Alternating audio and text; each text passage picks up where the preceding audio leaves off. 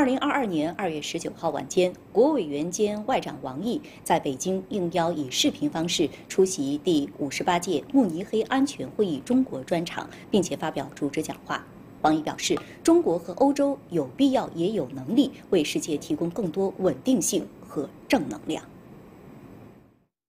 王毅在会议中强调，中国和欧洲是世界上两大力量、两大文明，有必要也有能力为世界提供更多稳定性和正能量。双方要把握住中欧全面战略伙伴这一定位，不因一时一事而动摇。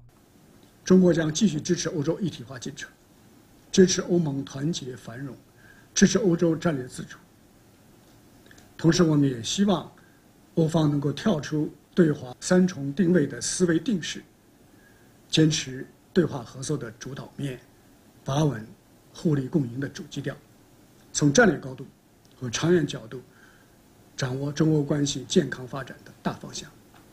王毅在现场回答了主持人有关中方对于北约东扩、欧洲安全和乌克兰局势态度立场的问题。对于乌克兰问题解决的前景，王毅表示，乌克兰应当成为东西方沟通的桥梁，而不应该成为大国对抗的前沿。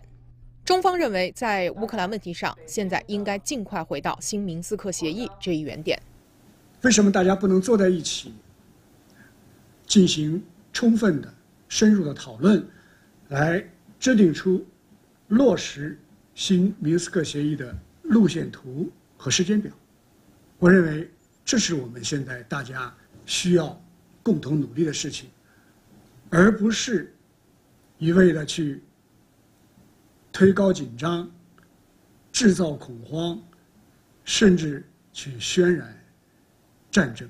在视频会议中，王毅强调，对于欧洲安全，各方都可以提出自己的关切，其中俄方的合理安全关切应该得到尊重和重视。而中方也期待各方通过对话协商，找到真正有利于欧洲安全的解决方案。总台央视记者北京报道。